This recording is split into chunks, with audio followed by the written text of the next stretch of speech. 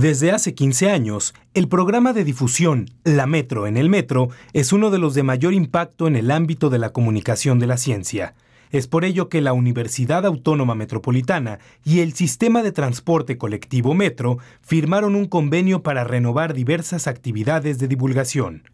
La firma se efectuó en el auditorio de La Casona, ubicado en las instalaciones del Sistema de Transporte Colectivo Metro las partes acordaron continuar e impulsar la realización de exposiciones artísticas, conferencias y talleres de divulgación científica. En su intervención, el doctor Salvador Vega y León, rector general de la UAM, hizo énfasis en los objetivos que comparten ambas instituciones. Este acto refleja una relación institucional muy afortunada de casi tres décadas, en la que ambas instituciones hemos transitado por el sendero de la cooperación la difusión y preservación de la cultura, la tercera función sustantiva de la UAM, se potencia mediante acciones muy concretas de extensión posibles de realizarse gracias a la cooperación de instituciones públicas, lo que en un sentido articula nuestro proyecto universitario con grupos sociales más amplios.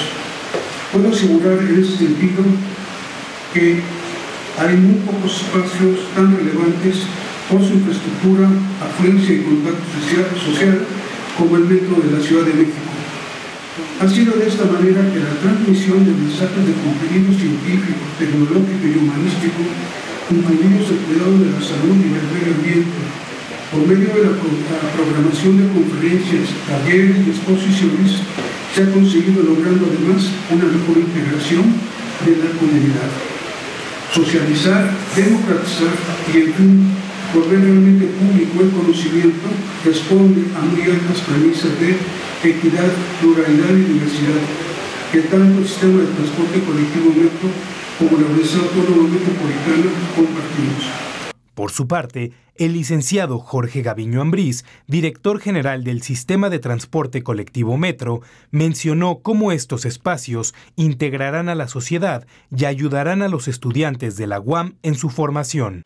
Es gracias a los vínculos que se crean con otras instituciones que el metro puede ampliar su oferta de actividades para la promoción y difusión de la cultura, la ciencia y la tecnología. El convenio que esta ocasión renovaremos con la Universidad Autónoma Metropolitana pretende no solo actuar en el campo de la cultura y la, la difusión científica, sino también ofrecer espacios para que los estudiantes de diversas carreras de la UAM puedan realizar sus prácticas profesionales en las diferentes áreas del sistema de transporte colectivo, coadyuvando a su formación profesional. Algunas de las actividades han sido realizadas en estaciones del metro Chabacano, Pino Suárez, Zapata y La Raza, donde se han presentado óperas, obras de teatro y actividades de divulgación científica. Universidad Autónoma Metropolitana. Casa abierta al tiempo.